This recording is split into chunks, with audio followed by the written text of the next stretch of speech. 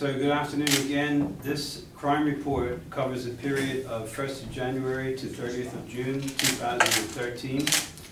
And while I certainly would not want to tell journalists how to do your job, I might suggest uh, that the headline could read, Crime Continues to Fall in Bermuda. The subheading might read, The second quarter of 2013 records the lowest crime rate since the year 2000. Total crime for the second quarter this year stands at 834 offenses, and this is the fourth quarter in a row where total crime is less than 1,000. Compared with the first six months of 2012, the same period this year has recorded 415 fewer offenses, or a reduction of 19%. Despite this encouraging trend, the period has sadly not been without its tragedies. Five fatal road traffic collisions occurred in the first quarter, although none occurred in the second quarter.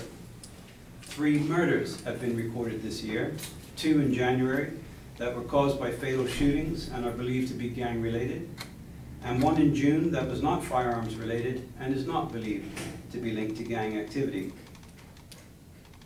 But there is good news to be found in the reports. The second quarter reported one injury shooting only. While one shooting is still one shooting too many, compared to what we've been through, the second quarter of 2013 represents the lowest rate of gang violence in Bermuda in the last four years. Nine firearms have been seized by the police or turned in by the public so far this year. They are comprised of five conventional handguns, two air pistols or BB guns, and two imitation firearms. As a result of forensic examinations, one firearm has been linked to seven separate gun crimes, and another firearm has been linked to two different firearms offenses. These weapons now open up potential lines of inquiry that weren't there previously, and we hope that they will lead to the progression of some of our open cases to the point where charges can be laid against culprits who are still at large. Elsewhere in the report, in the first two quarters, or six-month comparison between 2012 and 2013, antisocial behavior offenses fell from 288 to 211, or 27%. Robbery fell from 34 to 19, or 44%. Vehicle thefts fell from 360 to 307, or 15%. Total burglaries, residential, commercial, and tourist accommodation are down from 520 to 309, which represents a reduction of 40%. Drug seizures total 138 for the year. They are comprised of 39 seizures by customs at the ports of entry, 89 street seizures, and 11 interdictions outside of Bermuda. The total value of drug seizures so far this year is $1.86 million. This represents a decrease from the same period last year of $5.13 million. Drug enforcement activity has declined over the last four quarters from an average of 175 offenses per quarter to 75 offenses per quarter. This decline appears to, to coincide with a decline in stop and searches over the same four-quarter period from about 2,300 per quarter to just over 1,100 per quarter, or about 52% fewer stops.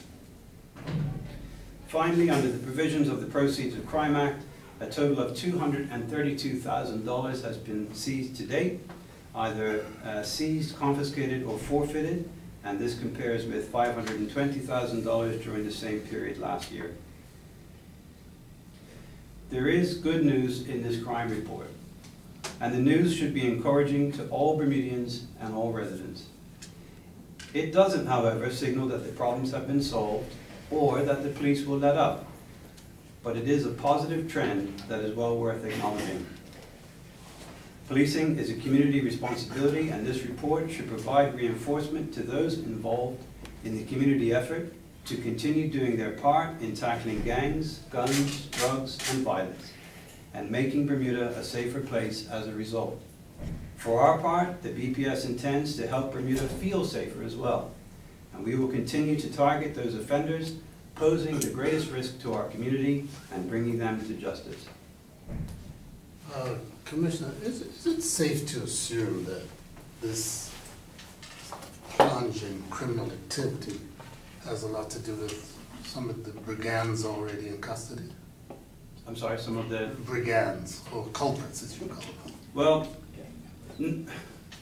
it's never safe to assume anything. Let me, let me put that qualifier right there. I think what can be said generally about the decrease in crime, and particularly about the decrease in gang crime, is that crime itself is a, is a social issue, and the solutions are social. So it- it'd be very difficult, actually, it'd be very easy to stand here and say, it's all the police, we did it by ourselves. And that's just simply not true. It's a combination of things.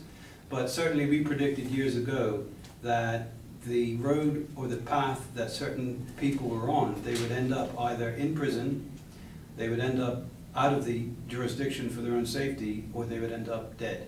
And we've seen three of those things happen, and, and that has to have an impact on, on, uh, on, on the crime itself. Uh, Commissioner, speaking on the gang uh, crime, you mentioned uh, this pa- this past quarter saw the lowest uh, rate in 40 years. Yeah. Um, Are you willing then to say that in light of the continued convictions in court of of gang members for guns, et cetera, are you willing to say that the worst of the gang uh, violence is us now? I, I would be crazy to try and be clairvoyant um, and, and put my reputation, if not my job, online. I think, I think it is time for Bermuda to take some encouragement out of the results that are, that are being seen about a collective community effort. I, I said four years ago, and a few hundred times since then, that the answer to this was not handcuffs, that we would not arrest our way out of this, this problem. Um, Obviously, enforcement has a key role to play, and enforcement has, has made a difference, clearly. Um, But it is all of the joined-up connectivity of everything else that's taking place.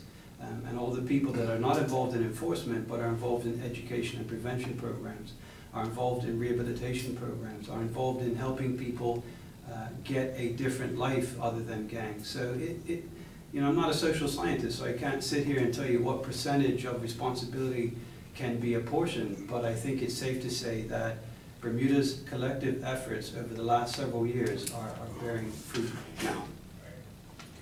Uh, Commissioner, the, seems to be what a, a perfect time or a coincidence, uh, uh, the, the releasing of these statistics uh, showing crime uh, down.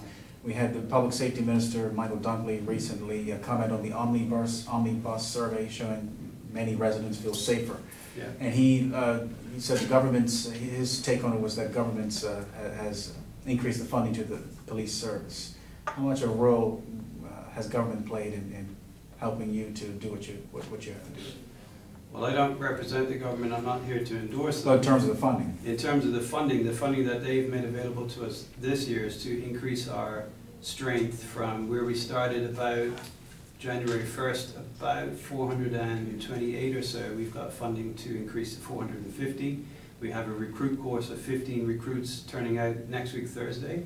um, And a batch lined up to be intake, uh, for an intake in October. So between those two courses, they should bring us up to four hundred and fifty. I have one question. Um, We know, well, I know that there's still members of both gangs from Weston and the central area still trapping around with guns, firearms on the possession. As you know, the individual that you uh, arrested in Somerset had a firearm on him. Yeah. How heavy is the police presence in these two areas? Um, the, the, I, I think the police presence is, is, uh, is adequate throughout the, the whole island. Obviously, we can't be everywhere at the same time, and obviously, we use our intelligence to decide where to put more or less police officers.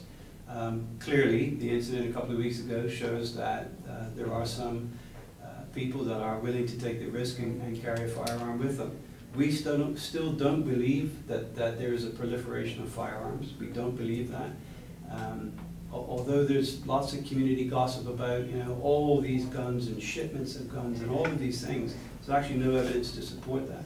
The evidence that keeps coming up, like, like the two firearms we just seized, actually demonstrate the opposite. that the same weapons are being recycled over and over for multiple offenses.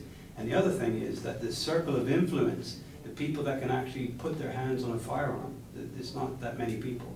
Um, Because forensically, we are linking the same people to, to different crimes. So, so clearly it's a, it, it, it's something to be aware of, clearly it's a risk, and our officers are, are briefed, uh, according to that risk, that, that there is a possibility they might run into someone with a firearm. We've seen that happen. Um, But the evidence is not suggesting that there's a proliferation. Uh, with the, um, success seemingly in tackling the gang issue, is there a possibility we'll see an increased presence of road police, traffic police? Well, we do have an increase in, in terms of um, making the STEP program a, a, an organizational priority. Um, It's not just, you know, police officers that ride bikes that have a responsibility to, to enforce the, the rules of the road. Um, So all of the divisions, east, west, and central, have the equipment, they've got their laser gear so they can go out and report people for speeding. Um, And the STEP initiative is an organizational initiative. Um, And I don't have the numbers with me, we did release those through the Road Safety Council a few, a few weeks ago, and we see that there's been an uptick in, in reporting people. But once again, you know, you, you- you can't solve the road problems just by booking everyone and sending them to court. There's a, a massive educational piece that needs to happen so that people change their, their, their mindset, and if you change your mindset, then your, your behavior will follow.